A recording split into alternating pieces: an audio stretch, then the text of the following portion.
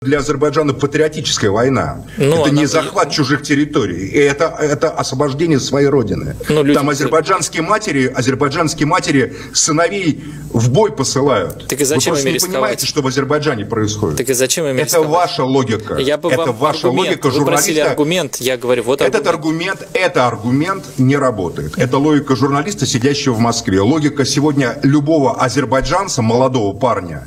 Если я не иду не хочу идти сражаться за мою родину, то я никто. А почему Сегодня думаете- там такая атмосфера. Я не думаю, я просто Нет, знаю. ну, Ну, а- ну, значит, остановить эту, эту войну. Вот, вот скажите, пожалуйста, допустим, вы советский человек, и у вас идет там сентябрь, э, допустим, ну как, как сентябрь? Допустим, февраль 42 года. Там или э, сентябрь 43-го. Советская армия подходит к Днепру.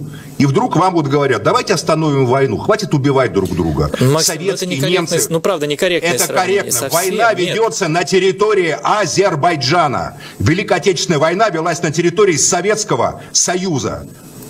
Никто не собирается вести ее на территорию Армении. Семь районов Азербайджана оккупированы. Это признанная международным сообществом территория государства Азербайджан. Пусть они освободят эту территорию, и будет мир между народами. Армяне смогут ездить в Баку, как сегодня немцы могут ездить в Париж, а э, Значит, азербайджанцы смогут ездить купаться в водах Сивана, как сегодня французы могут ездить во Франкфурт там или в Баден-Баден. Кому нужна эта война?